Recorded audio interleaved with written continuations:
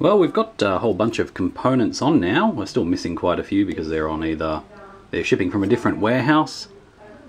But uh, yeah, we're doing pretty well. I accidentally misordered some uh, transistors as well, forgot to get as many as we needed, but uh, we've got the main chip, so we're going to go ahead and just program them. And the beautiful thing is, look at that device location.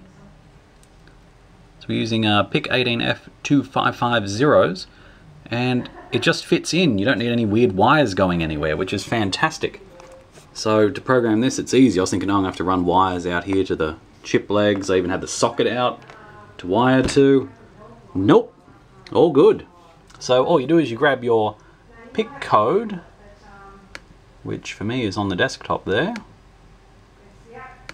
Double click, return, and next thing you know it's there and then you just hit, uh, I guess, right. And then all you have to do is wait and wait. As you can see, the old VCC and VPP are hard at work. Having a good time.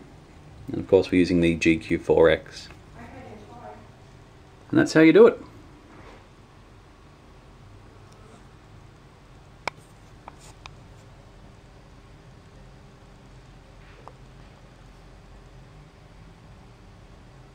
Nearly done.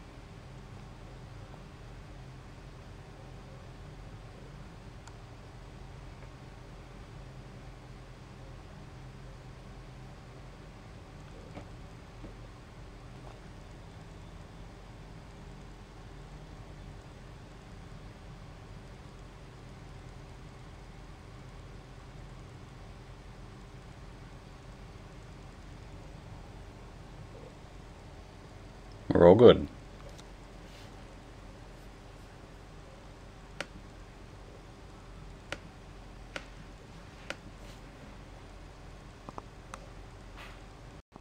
Oh wait, that was the Atmel.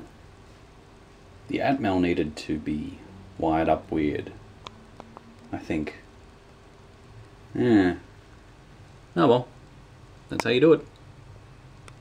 Okay now chip is programmed, programmed nice and easy with GQ4X, which I might have done a video on. If I did, it's just going to be a few seconds on the rewind. So we've got uh, pretty much all resistors except, uh, ooh, what are we waiting on, 2.7k resistors and some uh, more of these types of uh, capacitors. So they're all on their way. I'm also waiting on a single, I've got this one, just don't have one for here. I ordered a pack of 5 instead of a pack of 10. So that's